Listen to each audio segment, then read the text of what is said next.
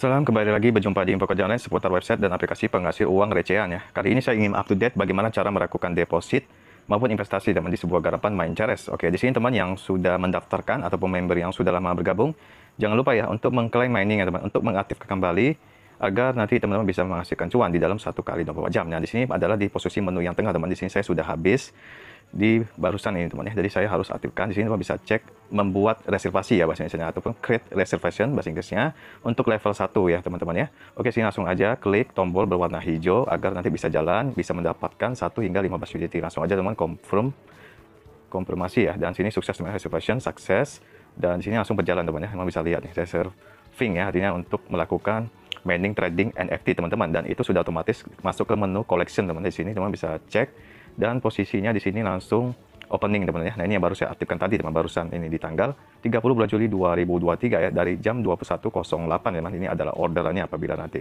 sukses teman bisa mendapatkan profit cuan antara di 1 dolar hingga di 15 dolar ya per harinya dan ini saya menang teman yang semalam ya saya aktifkan. Nah apabila teman-teman mengaktifkan terus itu akan mendapatkan ini ya status won. Won itu berarti menang eh, teman-teman uh, mendapatkan hasil penjualannya trading dari yang teman aktifkan tiket yang teman-teman miliki di sini. Nah saya sini menang teman-teman ya. Especially number menang satu kali. Misalkan won di, di klik nggak bisa. Jadi masih terdaftar di sini. Kalau di listing ini ini yang saya menang teman-teman yang semalam. Nah saya dapat di 13,81 dolar. Kemudian sini unlisted. Ini apabila teman-teman tidak belum di tradingan ya, nanti akan terekam di sini teman. Jadi posisinya di sini auto sell-nya harus menjadi tombol berwarna hijau apabila teman-teman klik. Jadi matikan gini, itu tidak akan dapat cuan teman ya. Jadi percuma aja teman aktifkan tradingnya. Jadi harus diklik secara otomatis teman ya, agar bisa berjalan untuk melakukan perdagangan trading NFT teman-teman.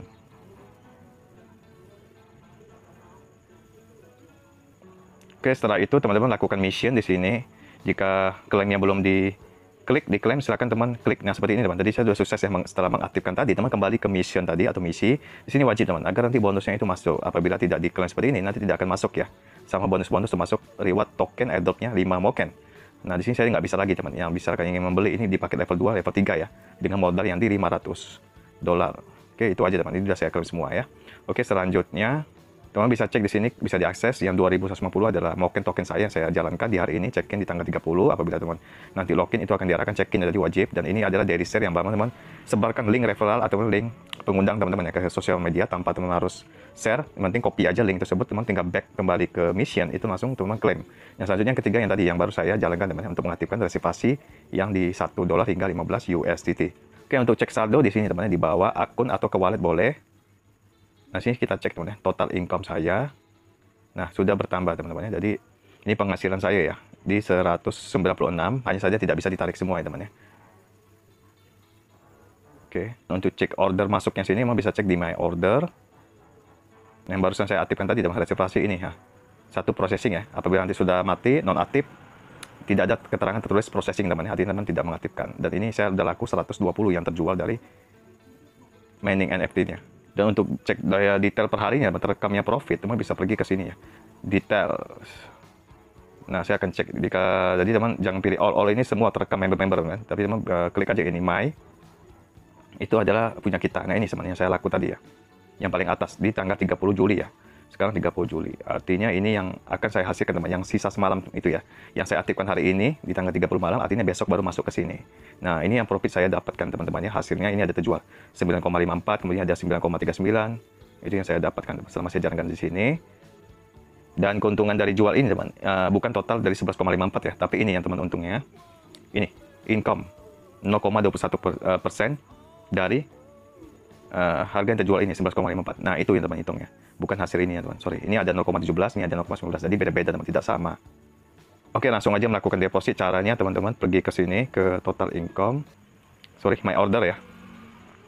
Nah teman pilih deposit. Atau teman bisa pergi ke wallet. Nah ke wallet ini teman-teman tinggal pilih ke sini. Deposit ya. Oke langsung diarahkan ke sini teman ya. Deposit ada chain jaringannya apa? Ini klik mau bayar di mana USDT menggunakan Tethernya BSC atau Tether USDT menggunakan Tron TRX eh, 20. Nah, kalau untuk biaya yang lebih murah teman, saya lebih milih ke Binance Smart Chain ya, BSC. Oke, saya pilih BSC aja teman karena di 0,20 berapa gitu ya, sedangkan Tron itu di 1 dolaran transaksinya. Oke, di sini teman langsung aja bisa menggunakan ini ya QR kodenya di foto atau teman bisa langsung klik ini. Copy ya, yang kotak dua ini ya untuk disalin, kopikan aja seperti ini sukses di atas bisa cek ya. Nah, suksesnya ya. Nah, data tercopied, baru teman-teman kembali ke exchange yang teman ingin transfer mau ingin DAX, pintu, trip, dan sebagainya. Dan sini teman jelaskannya untuk deposit ini harus 10 USDT. Apabila kurang, teman-teman tidak bisa ya. Takutnya nanti uh, apa nyangkut teman-teman. Itu aja sih. Oke, saya memilih pintu ya teman-teman ya. Karena saldo saya ada di pintu. Oke, ini saldo saya teman ya, 275.000. Pergi aja langsung ke wallet. Sekarang uh, USDT ada penurunan teman-teman ya. Nah, di sini langsung aja klik USDT. Akses, kemudian teman pilih receipt di sini ada ya.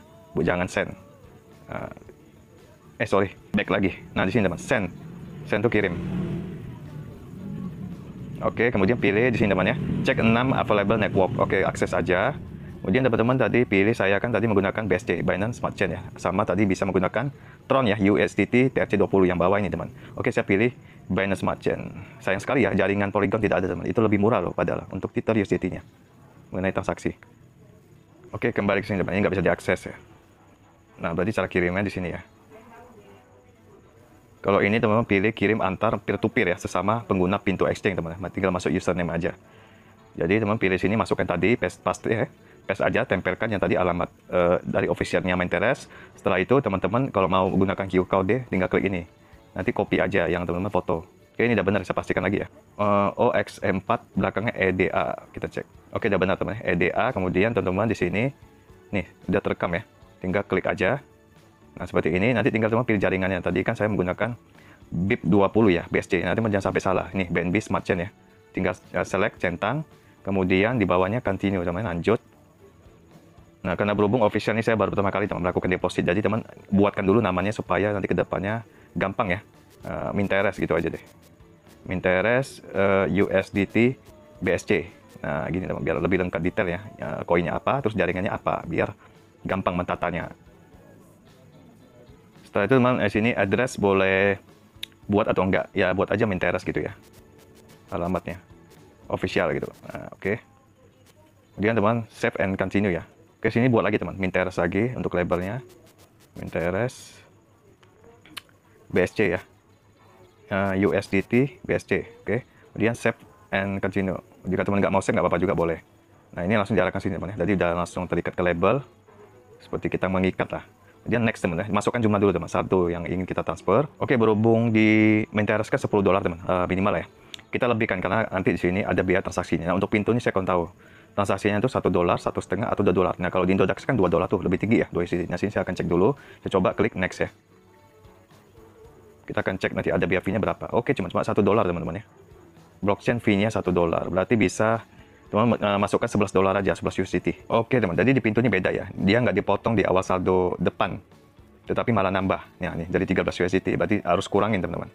Beda dengan Indodax ya sama RedQ oke saya akan buat 10 USDT aja teman ya. Pas-paskan aja karena untuk fee-nya ini di luar dari saldo yang kita tanamkan. Nggak seperti di Indodax ya karena itu satu yang kita potong langsung dikurangin. Di sini enggak ya. Minimal kita ingin depositkan kemudian baru ditambah di dalam saldo di dalam teman. Artinya saya bayar nanti potong di 11 USDT. Nah, seperti itu. Oke, langsung aja lanjut seno ya. Masukkan pin. Oke, langsung proses. Oke, teman, ini lagi dikirim. Jadi total yang saya kena setelah dari saya melakukan deposit total dari Menteres itu satu USDT ya, langsung dipotong dari exchange pintu teman-teman. Di sini informasi ya, progres ya. Transaksi memakan waktu 5 menit teman untuk tiba ya. Sekarang jam 21.26. Oke, tadi jam 21.31 teman. Kita cek di sini USDT menggunakan networknya BIP 20 atau BSC ya.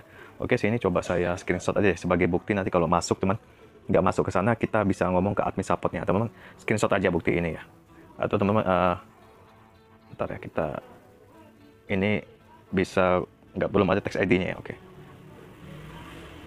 ini close aja teman oke gitu Oke, sudah berkurang teman Ini saldo saya sekarang di 105 ribu atau di 7,2 dolar yang sebelumnya tadi di 18,2 dolar. Dan saya cek nah di sini teman ada transaksi juga di tanggal 30 Juli 2023 malam ini ya. In progress teman ya. Di sini USDT 10 150 sedang diproses kirim ke sana. Boleh diakses juga di sini. Jadi yang masuk nanti teman di Menteres itu di 10 USDT ya. Nah, tidak ada potongan karena saya untuk fee-nya itu di luar dari yang saya depositkan. Jadi udah benar teman ya networknya BNB Smart Chain kemudian masih dalam uh, in progress, kemudian ini mau bisa copy juga apabila nanti belum masuk masuk. Nah, sini sudah masuk teman. Kamu telah mengirim. Nah, di sini teman bisa screenshot ya nanti sebagai bukti kalau misalnya belum berhasil ya. Kalau sudah berhasil di sini teman aslinya. Nah, ini sudah masuk ya. nggak sampai 5 menit teman tadi 3 menit aja 2 menit nah ini dah, nanti teman bisa sebagai bukti atau copy transaksi ID-nya seperti ini ya nanti tinggal kirim ke admin supportnya dari Menteres bahwasannya saya sudah melakukan deposit apabila terganggu hambatan tidak masuk-masuk dalam antara 2 jam 3 jam teman bisa lapor ini udah masuk katanya oke saya akan cek di uh, saya ya nah kita akan cek di sini ada inbox sebenarnya aktivitas nah sini ada USDT biasanya berhasil dikirim hmm. nah keterangan sukses teman Oke, saya kembali ke website atau aplikasi dari Menteres. Di sini kita mengecek saldo masuknya. Nggak perlu konfirmasi kan ya. Kita back dulu. Kita back ini. Apakah ada notifikasi di lonceng ini? Oke, ini bukan informasi pribadi, ini internal message aja ya. Oke, saya tutup.